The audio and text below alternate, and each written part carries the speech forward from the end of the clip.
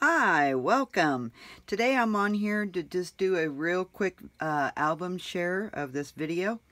Welcome to uh, Sister Scrapping It Up. I'm Vanessa Peter, and if you're new to my channel here, be sure to hit the subscribe button so you never miss out on any of my new projects that I will be uploading.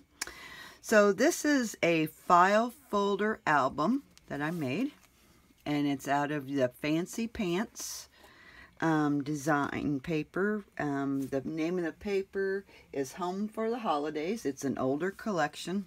Oh, I love it. Um, so this took probably about, oh, about four file folders to, to make this. It is nine and a half by eight and three quarters. And I uh, put little uh, uh, sayings on the tabs here. And this place here is for your photo and have yourself a merry little Christmas. Christmas is right around the corner, guys. Six more weeks is what I heard. okay, so you open it up and you have a, this spot right here opens up and you can put some photos there or you can journal. And this opens up. So you can put a couple pictures here and a couple pictures there and this flips.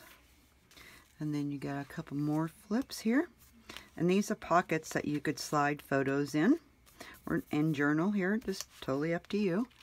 And then this I don't know if I'm gonna be able to get it all in camera but this flips up and says gifts up here. And then so you have a couple places for photos and they just flip open This album was a pretty quick album to make too. And then this flips open. And that's it for this cute little file folder mini album. So if you like this and would like to see more of this, uh, hit the subscribe button. Uh, leave a comment below of what you think about it. And uh, I will be talking to you guys real soon. Thanks and have a blessed day. Bye-bye.